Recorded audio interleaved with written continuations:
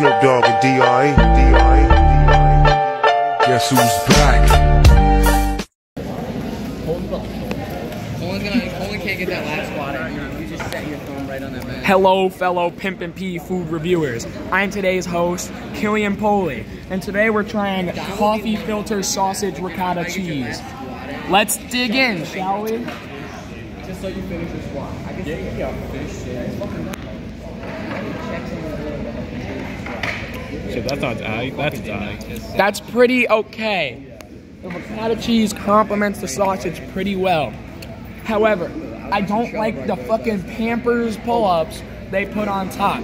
You see this shit? That's not okay.